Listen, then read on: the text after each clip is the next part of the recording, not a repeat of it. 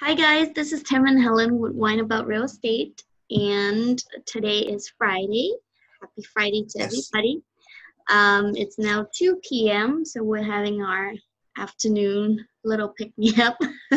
Absolutely. Um, I'm drinking some. I'm sorry, I don't have a wine glass today, so I'm at the offices trying to get some contracts out, trying to get some work out. But um, thank you so much for following and subscribing to us, and we love all the questions.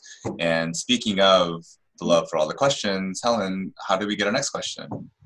our next question actually came from Instagram, so we posted um, Yes. this this um, in our stories. We just say ask us anything, uh, ask me and Tim anything as a weekend feature. Um, we'll be posting that later today too. So if you have any questions, feel free to send them to us. But this question was from um, a buyer looking to buy a home, and they said.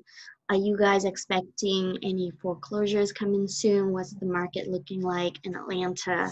And so we want to address that today. All right, what do you think, Tim? Um, everyone's a lot of people have been asking. Hey, they're saying, hey, I want to buy a foreclosed house. Um, I heard those are good deals, and you know what we're seeing is I, we not we're not really seeing a lot of the foreclosures happening. Of course, with COVID nineteen, the courts are shut down Mhm. um, and stuff like that. So, but we know a lot of people that are refinancing their house. We know a lot of people that are. Uh, that are actually selling their house because they you know if they can't afford it there's enough equity in the house and with the prices being creeping up we're seeing you know some people we do have some clients that have some financial difficulties and they're actually opting to sell their house so that they have some money in their hand they're not losing any money per se because of uh, the price increases and or the down payments that they made in the past so it's been a good it, it's while the situation may be a little unfortunate we're seeing a lot of clients that are out in the sell rather than foreclose because foreclosures and loan processes can be a problem Yes. Helen? I'm seeing more refinancing too.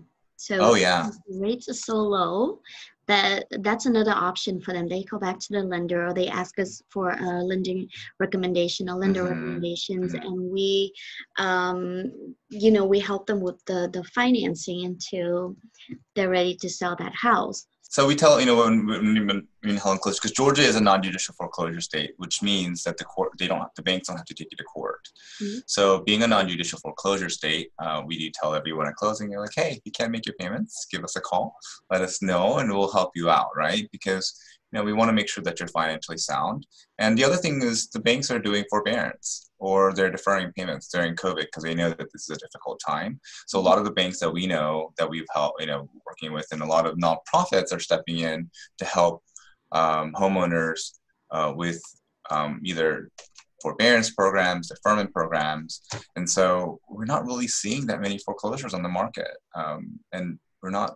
You know, we don't see any. We see some, but we're just not seeing a big rash that everyone was kind kind of expecting, right? Um, if anything, low inventories, Very low inventory. Very low inventory, so it's actually a good time to sell. Um, a lot of Yeah. buyers out there are looking, and there's not enough supplies. There's not enough homes available for them. So if you're thinking of selling, let us know. Yeah, and if you think you're buying, let us know too. We can help you. Okay. or investing. Well, let's finish our wine, and from there, um, That's you it. have any questions, let us know. Yes, send us more questions on Instagram, emails, or text, and um, we we would love to address them on our show. Until next week. Cheers.